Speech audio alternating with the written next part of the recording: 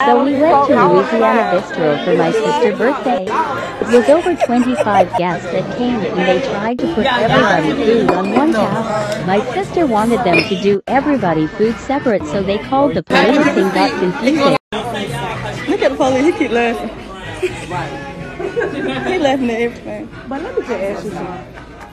we talked about. I did take that off of the chat. I cannot not split up.